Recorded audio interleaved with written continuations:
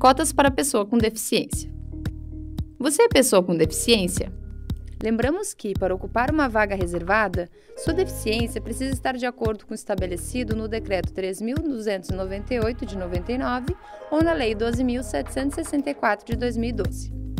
Se cursou todo o ensino médio em escola pública, pode concorrer em uma das quatro modalidades de reserva vaga destinadas à pessoa com deficiência. Há modalidades diferentes dependendo da sua condição. Então, confira o que precisa comprovar em cada modalidade para fazer a escolha certa. Veja os critérios de cada modalidade. L9.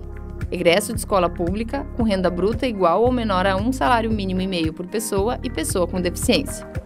Aqui você precisa comprovar que é pessoa com deficiência, que o ensino médio foi concluído e cursado integralmente escola pública e que a renda familiar bruta não ultrapassa um salário mínimo e meio por pessoa.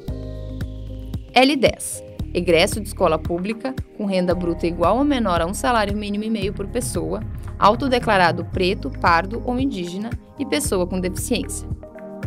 Aqui você precisa comprovar que é pessoa com deficiência, comparecer à sessão presencial para verificação fenotípica se autodeclarar-se negro, ou seja, preto ou pardo, ou para análise documental se autodeclarar-se indígena. Comprovar que o ensino médio foi concluído e cursado integralmente em escola pública e que a renda familiar bruta não ultrapassa um salário mínimo e meio por pessoa. L13. Egresso de escola pública e pessoa com deficiência. Aqui você precisa comprovar que é pessoa com deficiência e que o ensino médio foi concluído e cursado integralmente em escola pública.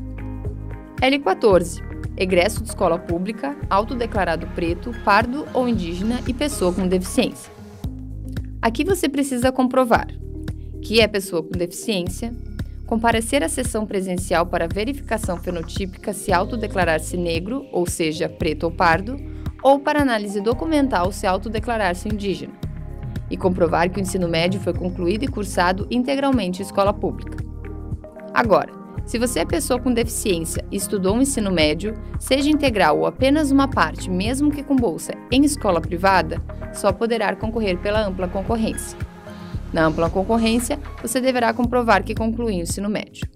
Se está em dúvida se conseguirá comprovar a condição de pessoa com deficiência, ainda poderá se inscrever em outra modalidade. Veja os demais vídeos, faça a escolha certa na inscrição.